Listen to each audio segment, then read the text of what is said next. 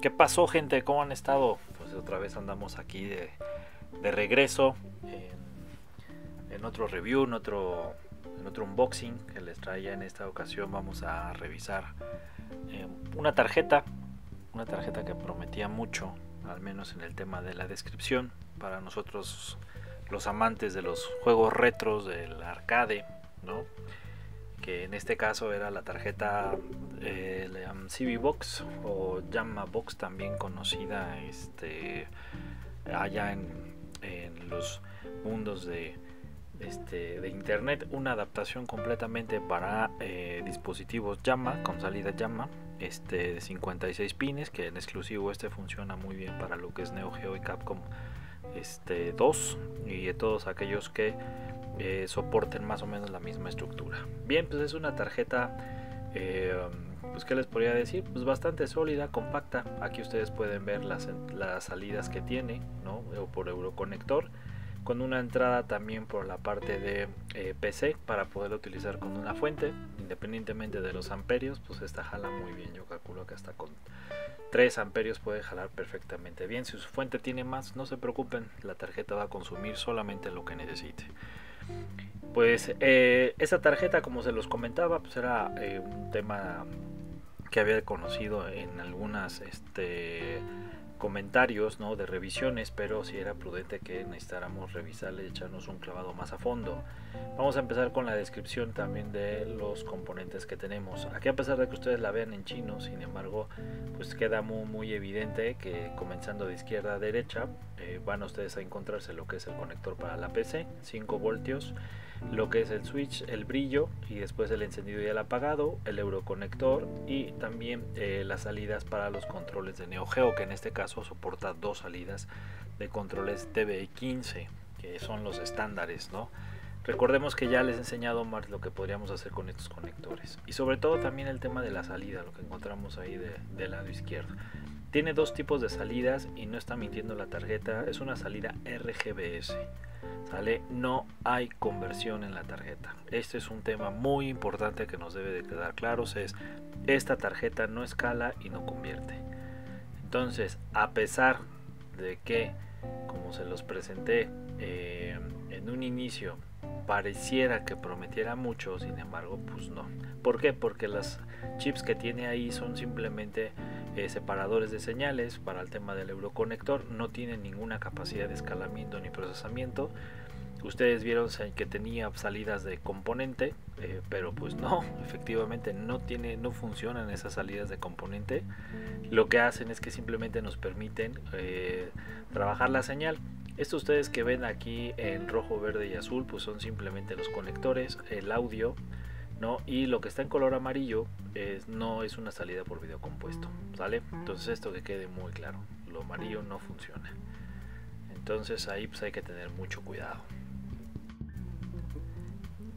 Y el video compuesto que ustedes ven acá pues no, no, funciona, no tiene esa capacidad, es simplemente la señal de sincronización que se puede botar por ahí.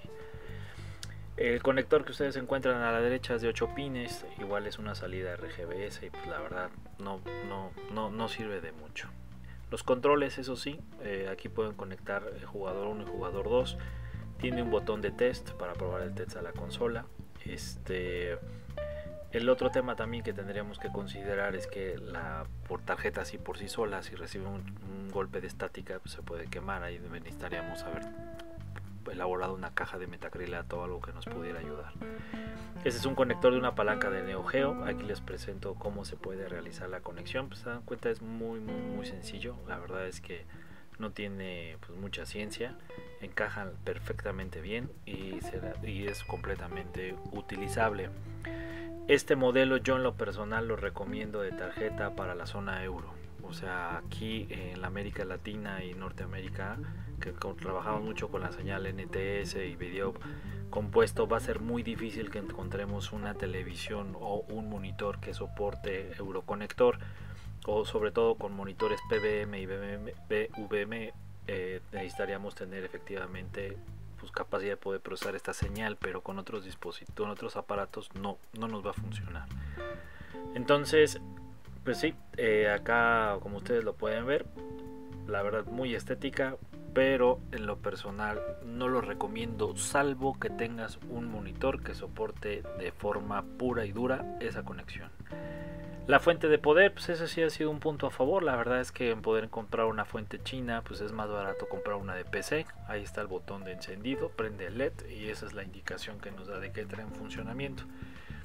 Eh, aquí, por ejemplo, este Pandora, si lo recordarán, era el primero que teníamos en otra, otro video que hicimos. Pues le conectamos ahí la, la tarjeta y es bastante, bastante compacto se podría decir que casi tiene el tamaño de un cartucho o con una funda de este casi casi qué les podría decir no sé o sea de una sandwichera ahí podríamos estar echando a andar esta esta esta tarjeta y la verdad es que funcionaría bastante bien.